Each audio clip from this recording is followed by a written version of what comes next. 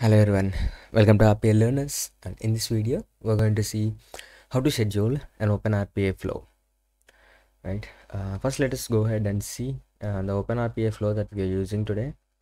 And if you see here, we have a simple flow which says uh, show notification. It will show a notification which is RPA Learners at the bottom here, and we are working on the demo flow.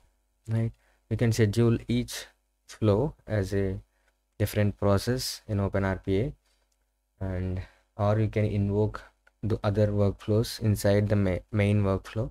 If you make it as a demo as a main flow and you can invoke using an OpenRPA flow activity and you can invoke other flows according to your sequence of steps right? For now this is our flow that we are going to see how to schedule this particular flow in OpenRPA. Uh, to schedule it first we need to go to open flow here if you uh, click here and you can see openflow and node-red. Openflow is a centralized uh, platform where you can see all the workflows related to openrpa studio and node-red is where you will schedule those flows. So firstly we will see openflow and where we can see the information of the workflows and later we will see how to schedule it. And if you see here if you haven't created your email in the open IAP uh, go ahead and create enter your email id and the password. And if you click on sign it will automatically create your instance. Um, my instance is already created so i'm uh, logging in with the google id and let me log in first the other screen with the google id and after logging in you will see a screen something like this. Um, the open flow and these are some this uh, when you go to RPA workflows right? You need to go to RPA workflows in order to see the flows in open RPA studio. And they, I in open RPA I have four different flows. And if you go here in the open project you can see one two three four four different flows in the studio. So I am seeing them here. And this is the project RPA learners and this is the new project project and then the workflow. So you can execute it from here right? So let's see the demo. If you click here you can execute that from here. It will start the process and if you see the demo remotely started and there is a show notification which is learners so this is one way of uh, executing this. You can execute it from here. And the other way is to schedule this particular process in node-red if you click on node-red here first of all you need to create a node-red instance if it is not activated or not created. After creating that you can open the node-red from here or you can open the node-red from the studio as well. So after coming here there are two different ways that you can uh, schedule this. One is using the inject node and the other one is using a cron expression cron node right? And this on the left side you you call this as palettes and this is the workflow space and this is the sidebar on the right hand side and top is the header. And what are the main things that you need to consider here is one you need to deploy every time you are making some changes to this flow so that it will be updated. If you don't deploy it the old flow will execute it. And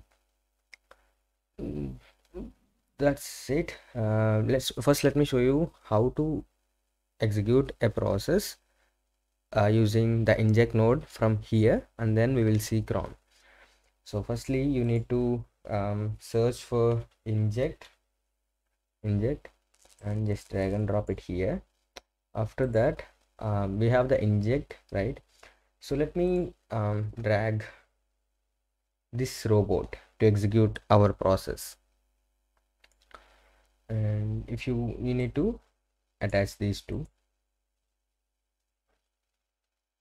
and when you click on this timestamp we can provide the name. Or let's just leave as it is. It will take this particular name whatever you are selecting here. And it is message message.payload it if you want to send any json data before starting a process to the pro to the process you can send that from here. Let's uh, let's say we are send we need to send a string or we need to send a number. Uh, let's say we need to send a string which is rpa learners right? We are sending it as a message payload. And if you go down uh, if you want to add uh, more additional to the package you, you can add it here. This is another object and this is one object. And you can add topic dot name and you can give the name as well. Uh, those are the two different objects. After that uh, if you see here uh, there is an option called repeat. By default it is none. If you um, click here you can see one is the interval and the interval between times and at a specific time. If you click on interval it will ask you to select the time whether it is in seconds minutes and hours. Every how many seconds it need to start. And let's say uh, i want this to execute uh, every five seconds right?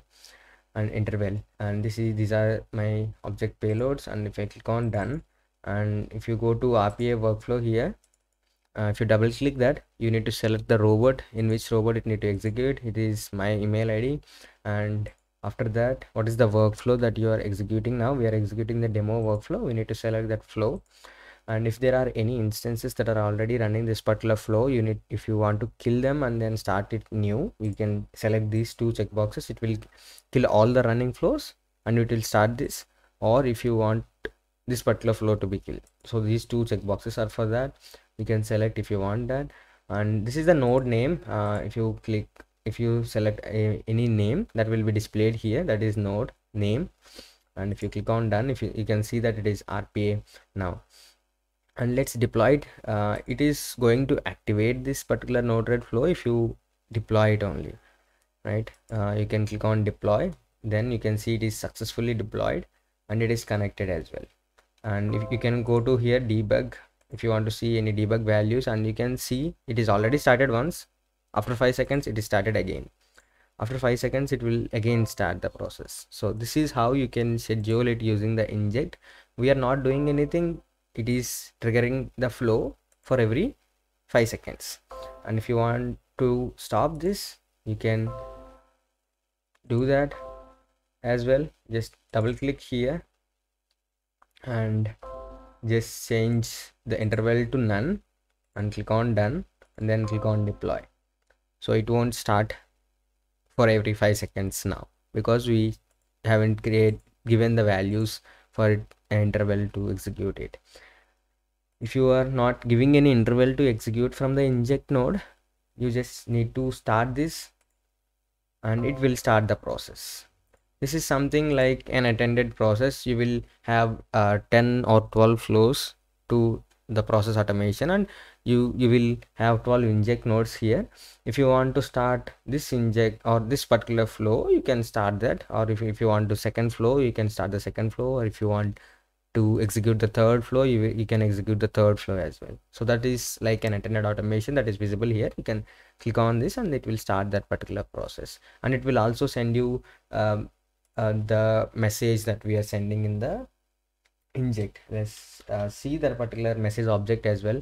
Um, there is another node which is debug which will which will show you the uh, output that is coming from a particular node and it will show here. If you see here there is a debug mode and if you click on that particular console you can able to see all the debug values that are this particular flow is doing. And if you click on deploy and you can see that here and if i start this if you you need to click on this particular button here and if you see here i got an object which is message payload and the string is RPA learners. If you want to see the whole object here, it is only taking output which is payload, which is from the payload and we don't need payload. We need the whole complete message object. Then you can uh, take the complete message object, click on done and click on deploy. And if you click here and you can see uh, the complete message object, which is coming as an input for the RPA bot from the inject node, which is message ID and the payload is RPA learners and there is another object which is topic. Inside that we have a property called name which is Aditya. So this is how you can uh, pass an input to the robot and you can trigger it or you can schedule it from here as well. It is, also using the cron expression to schedule it this node as well. Now um, this is one way of triggering the process uh, from using the inject node. And i will show you the another uh, way that you can uh, schedule this uh, other way is directly installing the cron um, palette and then using that particular node. For that uh, i already installed it. I will show you where you can install this. You can, if you can see here it is showing a cron. And i will show you that and if you go here on the three buttons here the toggle button here on the right side and if you see here there is an option called manage palettes or you can press ctrl alt p um, if you click on manage palettes this particular user settings screen will appear where if you see here i have a node-red uh, palette already installed and a node-red contrib cron you need to install this uh, you need to search for uh, this particular name uh, if you go to install and search modules and you can install this particular module here which i am using. And after installing this you can close that and you can able to see this particular input cron here. And if you just drag and drop it here and we have this cron now and we also need to have a robot which need to execute the process. So let me select um, a robot which is Aditya and the workflow is the demo workflow and we click on done. And just we will connect this particular flow. Now uh, we need to schedule it right? How we can schedule it? If you double click on cron and you can name it or you just leave it as it is. And we need to give the cron expression here. Uh, let's say i want to execute this for every five seconds again. You need to see cron expression. You need to see the verify the uh, you can go to online and search for the cron expression. This is this will execute for every five seconds. And let's click on done. And let's deploy it and see and we are let's also uh, take a message object here or the debug object. Let's delete this and let's connect it here. And we can able to see the output from here. Let's delete all and then let's deploy it. And this need to execute um, this particular flow for every five seconds. Uh, let's see um, uh, i guess it it is not five seconds. I guess it is five minutes which i have given here uh, let's say for every one minute i click on done and deploy. And let's see whether it will start this process after one minute. Um, and we can able to, able to see the debug options as well. And these are the two different ways that you can um, schedule a process in a flow. And in a node-red flow you can have um, n number of um, like inside you can have a nodes uh, this is let's say this is for one process i want to execute every morning. And this is another process i want to execute every afternoon. So i will have these two in a single flow so that i can uh, come here and then just click on this button. It will start executing it right? And this is um, these are the two different ways. One is using the cron expression and one is using the rp um, inject node. Let's wait for that. It is doing anything. And you can see that after one minute it started this particular process. And and you can also see the debug um, message which is a payload. This is this time it is a number. It is not we are not passing any uh, payload here as an input. But in the inject node we are passing the payload as an input. And we have other objects as well. If you want to create any other objects you can create that. And i will i will show you the other ways of doing it as well. Let me cancel this. Uh, let me delete these nodes and click on deploy so that it won't execute again. And this time uh, if you go to rpa learners i will show you uh, the intervals of scheduling it as well. Uh, we have only seen the interval um, which every second or every minute that you can execute the process. There is another thing which is interval between times. If you click on that every how many minutes that you want to execute this process and between um, which time and which time. Let's say i want to execute it from 11 to 12 and i want it to execute for every 10 minutes. If let's say if you don't know how to write cron you can use this uh, for every 10 minutes from 11 to 12 it is it is going to execute this particular flow uh, which i am selected in the rpa node and if you want a particular day to be excluded then you can exclude that from here. Let's say i want to execute this apart from running it on friday. I want to execute it in all other days. Just you can just simply uncheck it and you can leave other things.